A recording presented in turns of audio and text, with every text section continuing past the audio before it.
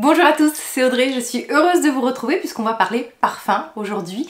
Je vais vous partager mon avis sur les dernières nouveautés de cette rentrée 2021. Si vous me découvrez avec cette vidéo, bienvenue sur ma chaîne. Ici, on parle de beauté, principalement de skincare, de plus en plus souvent de parfums, mais aussi de make-up, de produits cheveux. N'hésitez pas à vous abonner.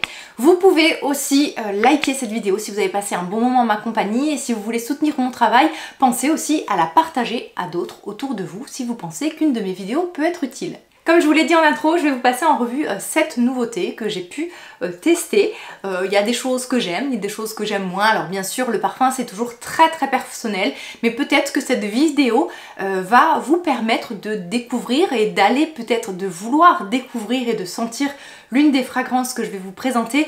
Mais surtout, moi ce que j'apprécie énormément sur ces vidéos, c'est que c'est toujours très très riche en partage, notamment dans les commentaires. Vous me partagez toujours ce que vous ressentez, ce que vous avez aimé. Euh, bref, j'aime beaucoup les échanges ensuite que génère ce type de vidéo. Je vous mettrai en barre d'infos, bon bien sûr, tous les références de ces parfums. Attention, d'un site à l'autre, le prix des parfums peut énormément varier et on peut faire de meilleures affaires sur certains sites. Je vous mets éventuellement les parfums que j'aime le plus, peut-être que ça vous aidera à vous identifier. Moi je suis quelqu'un qui aime beaucoup euh, les parfums euh, floraux, euh, floraux un peu sucrés, je suis pas très très vanille, je suis pas très ambre, je suis pas très patchouli, mais c'est toujours la dose et la découverte moi qui m'attire dans le parfum. Chaque parfum m'évoque souvent un moment, me met dans une certaine condition, me fait me sentir parfois euh, ben, plus sûr de moi ou ça, va me réconforter. Donc moi au travers de cette vidéo c'est un peu toutes ces émotions que je vais vous partager au-delà peut-être des, notes parce que euh, d'un nez à l'autre on peut vraiment sentir des choses différentes. J'aime aussi les odeurs très cotonneuses, très musclées. musclées. À, chaque fois, je, à chaque fois je fais la bêtise de dire musclé au lieu de musqué. Donc musqué, cotonneuse, très propre. On commence par un ambre floral, le Voce Viva Intense de Valentino avec en note de tête mandarine bergamote, note de cœur jasmin sambac et fleur d'oranger, note de fond vanille et mousse de chêne. Alors Voce Viva, ça représente un peu euh, la femme audacieuse, c'est d'ailleurs l'égérie euh, Lady Gaga, moi je trouve voilà qui, représente très très bien la fragrance. Alors je connais mal la, la version originale, donc je ne pourrais pas vous faire un comparatif de la version originale, mais je vais vous dire vraiment ce que je pense de celle-ci avec son côté intense. Alors tout de suite, moi, quand une fragrance se décline en une version intense, j'attends d'une fragrance qu'elle ait beaucoup plus peut-être de tenue, de sillage et de profondeur. Le flacon, rien à dire, hein, on est sur un beau euh, flacon euh, carré hein, là-dessus, voilà, je le trouve très très joli, avec aussi euh, le petit bouchon où vous avez des, sortes de, de, clous. bref, voilà, le flacon est très sobre, c'est pas mon flacon préféré, mais il se tient bien en main, très pratique, notamment lorsque vous voulez vous vaporiser. C'est vrai que le, flacon, euh, le fait qu'il ait cette forme-là, tient bien en main et ça peut être très très agréable. Au niveau de la fragrance, eh bien, on est vraiment sur ce côté un peu déjà vu euh, de des fleurs avec un peu de sucre et avec un chouïa d'ambre. C'est un parfum, moi quand je le sens, j'ai un peu de mal à identifier euh, toutes les différentes notes. J'ai un peu l'impression que c'est brouillon. Je sais pas comment vous expliquer. Oui, je sens un peu d'ambre. Oui, je sens un tout petit peu de vanille. Une touche peut-être de jasmin.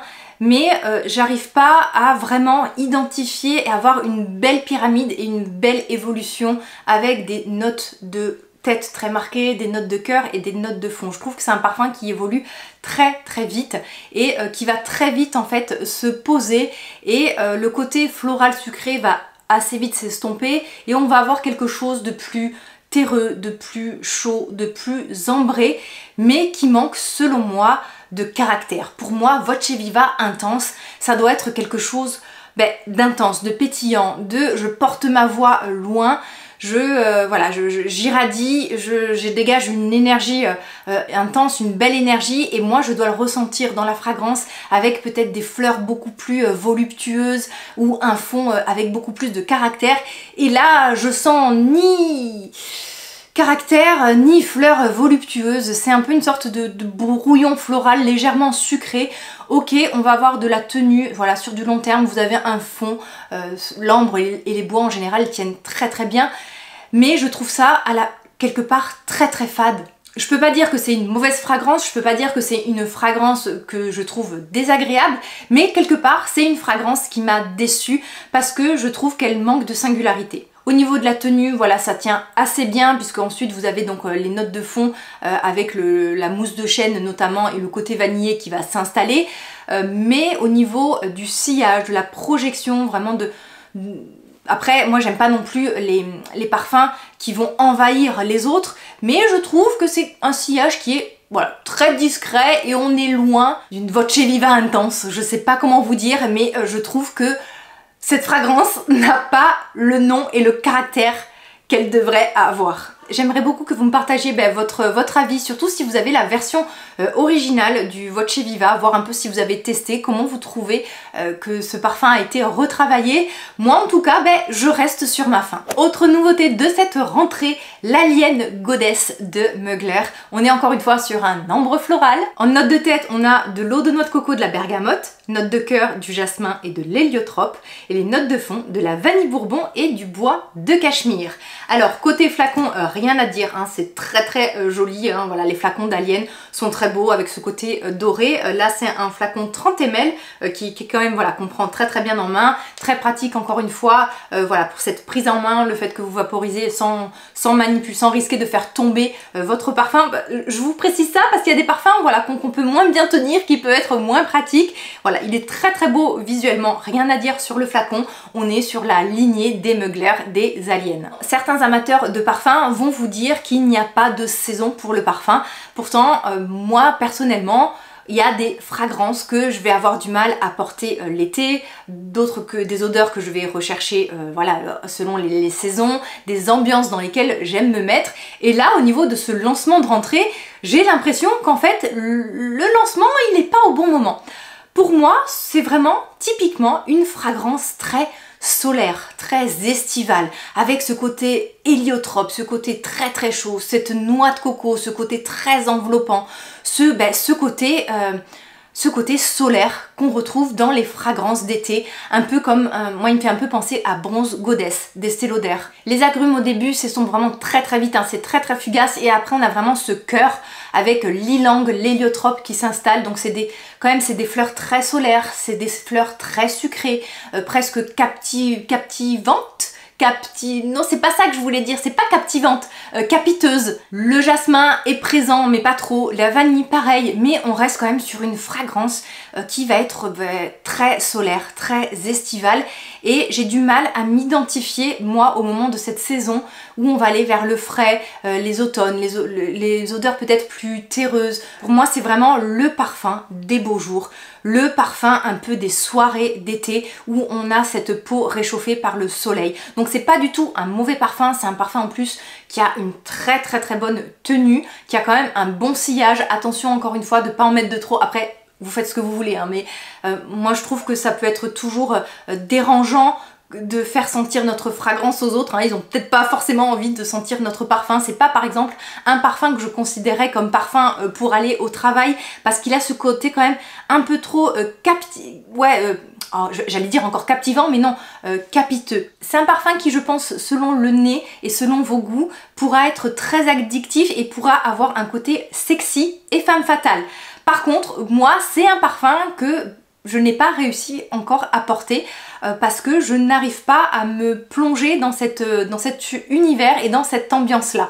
Peut-être que c'est un parfum que je redécouvrirai au beau jour. Alors peut-être pas en plein été parce qu'il a quand même un côté euh, très fort. Nous en Corse on a des journées à 40 degrés et c'est vrai que le parfum peut vite me monter au nez. Donc c'est peut-être le parfum des soirées fraîches d'été. Bon alors peut-être pour moi ça sera peut-être le parfum des soirées de printemps légèrement frais. Mais en tout cas je n'ai pas encore pu l'apprivoiser et il a ce côté trop estival et trop solaire. J'y retrouve quand même l'empreinte Mugler, euh, enfin l'empreinte des, aliens de Mugler, donc je pense que si vous aimez cet univers, vous allez adorer. Si vous aimez les parfums euh, solaires, un peu comme Bronze Goddess d'Estée Lauder, allez euh, sentir cette fragrance, je pense qu'elle pourra vous plaire et vous surprendre. Si vous aimez les parfums surprenants, Miyake pourra peut-être vous intéresser. Nous avons en pyramide olfactif des notes de tête avec du lait d'amande et de la rose de dama, en notes de cœur du lilas, des notes solaires, de badiane, de chine, de jasmin et de fleurs d'oranger. Les notes de fond sont vanille, musc, ambroxan et cèdre de l'Atlas.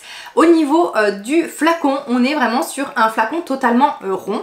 Donc il épouse la forme de la main, mais alors par contre ça peut ne pas être pratique lorsque vous le vaporisez. Il va pas tenir droit, il faudra le mettre couché et ça c'est pas pratique du tout. Ensuite le petit reproche c'est qu'au niveau euh, du plastique, vous savez ça fait un peu comme le chi d'Emporio Armani avec ce côté un tout petit peu cheap au niveau euh, du flacon.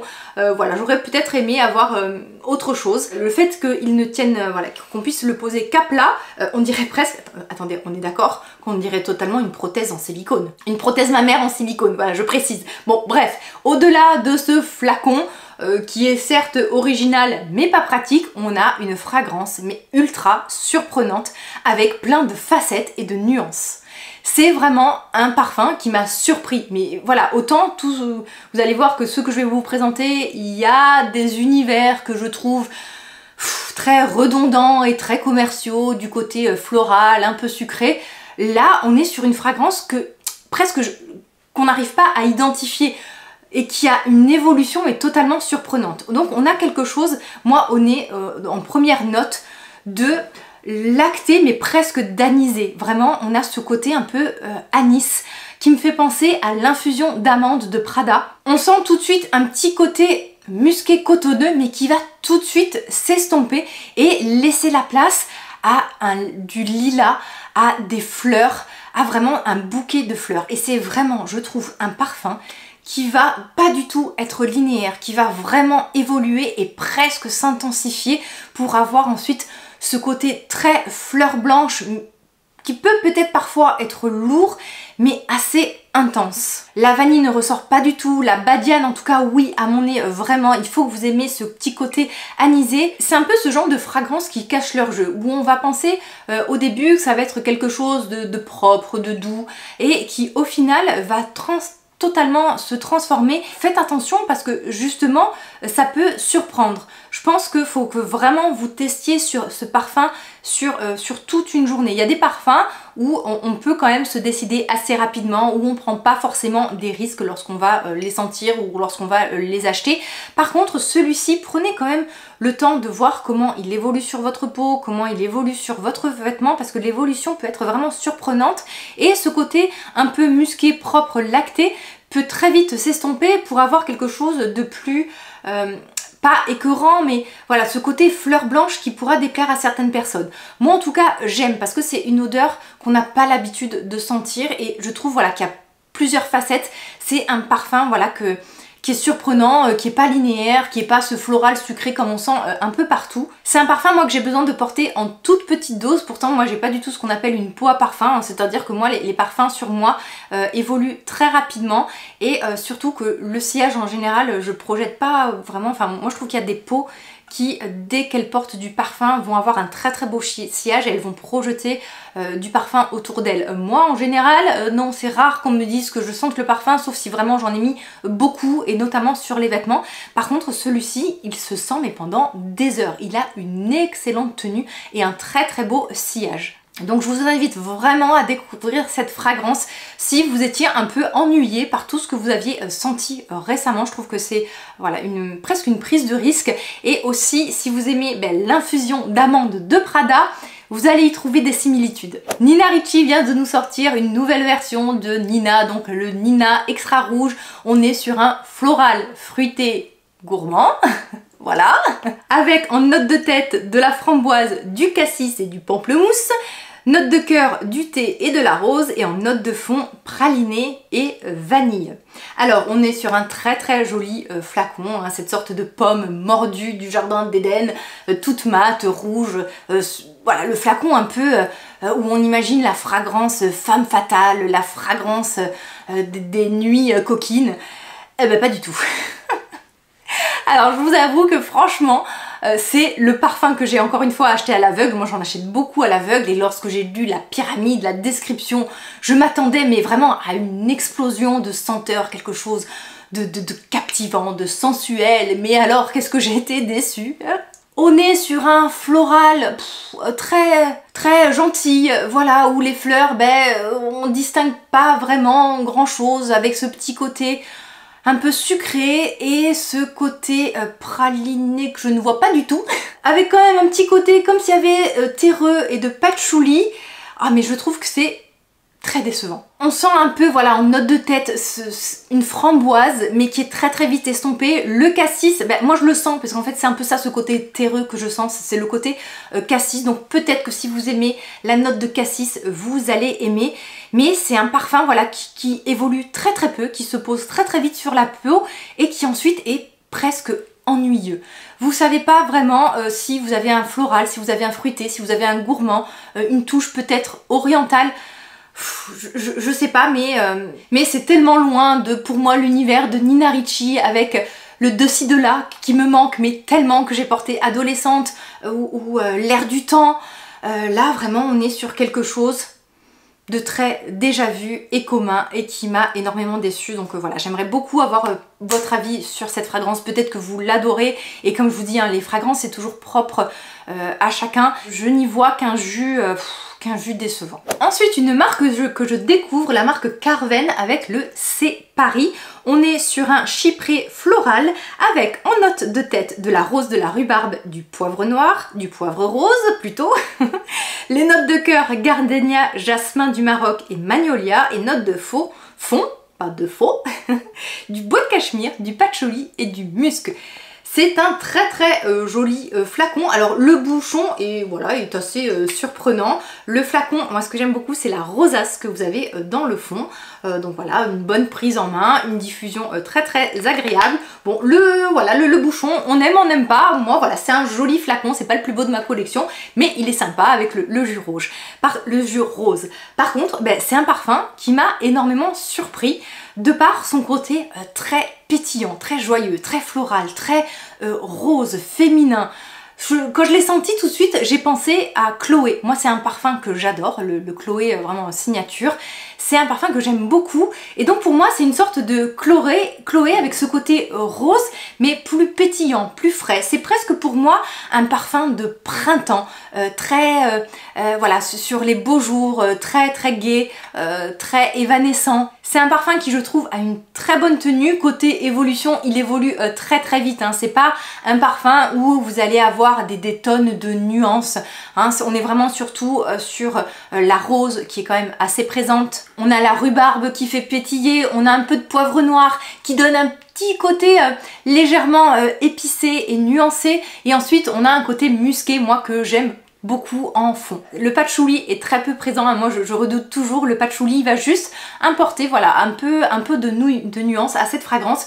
Mais en fait voilà, je trouve que c'est une très très belle fragrance qui vous plaira si vous aimez euh, les parfums assez euh, légers, assez voilà avec ce côté euh, pétillant, un peu de, légèreté, ce, côté un peu mademoiselle, ce côté un peu jeune fille avec le côté un peu très rose qu'on a dans Chloé. Donc euh, moi en tout cas c'est une fragrance que j'ai énormément portée parce qu'elle n'est pas entêtante, elle a ce côté frais que j'aime beaucoup vu qu'on a encore des journées très très chaudes. C'est une fragrance ensuite qui est très très belle posée sur les vêtements puisqu'il reste ce sillage un peu à la Forever euh, très musqué, très doux, très propre que j'aime beaucoup et en fait voilà ça a été une très très belle surprise. C'est une agence de presse euh, qui me l'a envoyé. J'étais très contente parce que voilà la plupart, tous les parfums je pense que je vous montre c'est des parfums que j'achète moi-même et je ne connaissais pas du tout la fragrance, je n'en avais pas entendu parler. Donc euh, voilà, je vous mettrai, euh, c'est pas une fragrance, c'est une marque que l'on trouve partout. Je vous mettrai bien sûr les liens en barre d'infos. Donc euh, très très belle surprise. Autre lancement de cette rentrée, le Miss Dior en eau de parfum de Dior. On est encore une fois sur un ambre floral.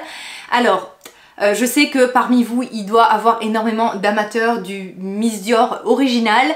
On n'est plus du tout dans l'âme de Miss Dior. Hein. Moi, je trouve que voilà, on est dans un monde à part qui a été complètement euh, reformulé. On est vraiment sur un parfum très floral avec un côté euh, très gourmand alors que la version originale on était sur quelque chose de beaucoup plus euh, chypré avec beaucoup plus de caractère. Alors au niveau des notes de tête on a de l'iris, de la pivoine et du muguet, en note de cœur de la rose, de la pêche et de l'abricot, en note de fond de la vanille, de la fève tonka, du musc, du benjoin et du bois de santal. Mis à part le fait qu'on n'est plus du tout sur euh, l'âme originelle de, Miss Dior, hein, le tout premier voilà, qui est sorti, moi, c'est quand même une fragrance que je me surprends à énormément aimer, euh, puisque il a bah, déjà, il y a tout de suite de l'iris que moi que, je sens tout de suite que j'aime beaucoup avec un peu de pivoine euh, voilà, qui, a un côté, euh, moi je trouve assez euh, réconfortant et un peu poudré. Ensuite, on a de la rose, pareil, moi que, j'aime selon comment elle est travaillée, avec un côté un peu plus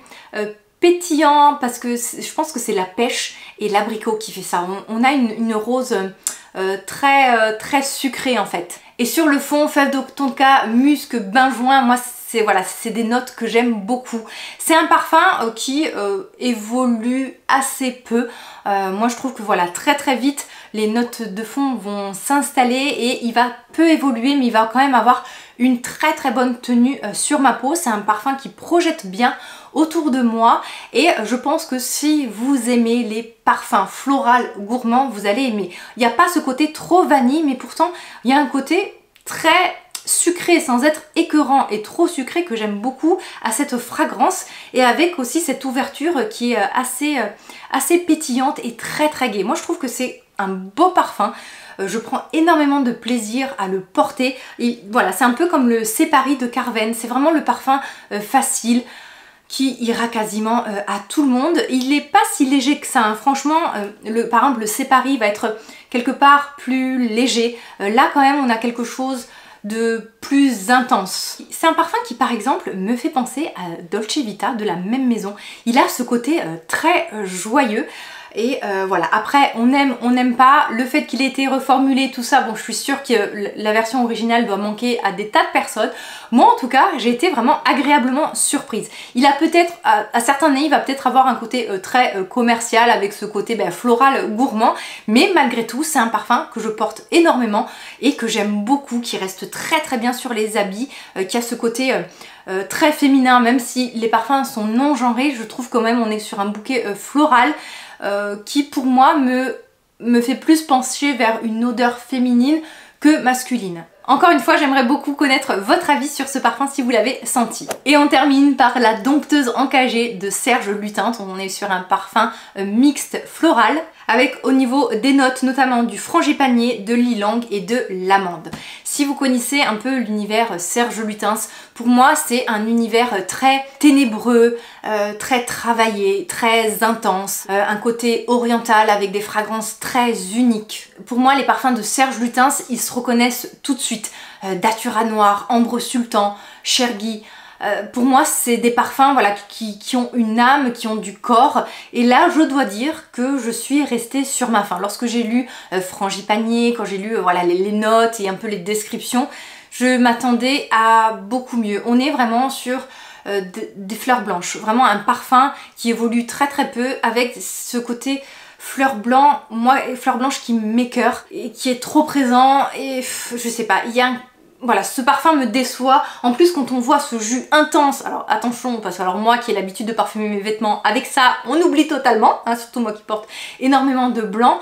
Mais euh, voilà, j'ai l'impression que c'est un parfum qui évolue peu et qui a peu de notes et peu de subtilité. C'est un très très bon parfum si vous aimez les fleurs blanches. Alors ça c'est clair, si vous aimez les fleurs blanches, vous allez adorer. Si vous aimez le frangipanier par exemple, il a un peu ce côté euh, solaire sans être trop trop sucré. Mais euh, voilà, je, je sais pas quoi vous dire d'autre à part que je suis vraiment restée sur ma faim.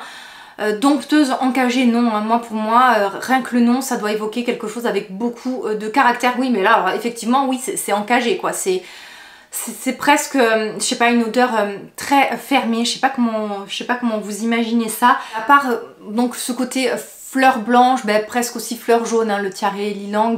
Euh, vous voyez par exemple je sens pas du tout l'amande, je sens voilà, je, sens pas grand chose à part ça dans cette fragrance et sur ma peau elle est euh, très éclocurante et en fait elle me donne mal à la tête donc euh, pour moi c'est une déception. J'ai vraiment hâte de vous lire en commentaire, on peut se retrouver tous les jours sur Instagram, notamment je vous partage assez fréquemment le parfum que je porte, donc j'appelle ça le parfum du jour. Je vous parle aussi beaucoup de skincare et de, de tout ce que j'aime en général et que je vous partage aussi sur cette chaîne. En attendant de se revoir, prenez bien soin de vous. Je vous embrasse tous bien fort. Bye bye